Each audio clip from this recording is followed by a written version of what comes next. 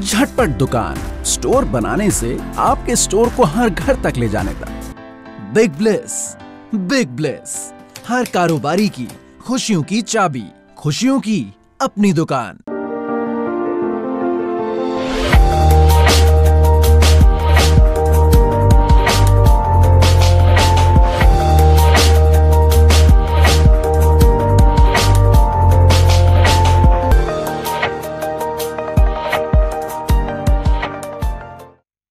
नमस्कार, आप देख रहे हैं मार्केट टाइम्स टीवी। मैं हूँ आपके साथ शालिनी श्रीवास्तव। मंडियों के हाल में आपका स्वागत है।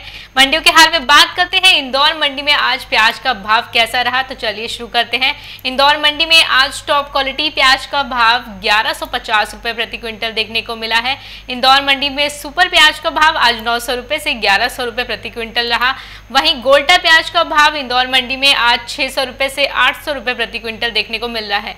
इंदौर मंडी में गोल्टी प्याज का भाव आज चार सौ रुपए से पाँच सौ रुपए प्रति क्विंटल रहा।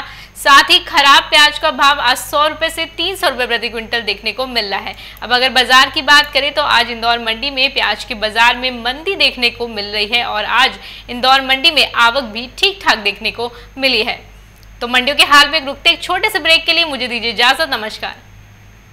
आपके प्रोडक्ट बेचने से आपकी सेल बढ़ाने तक। बिग ब्लेस बिग ब्लेस, हर कारोबारी की खुशियों की चाबी खुशियों की अपनी दुकान।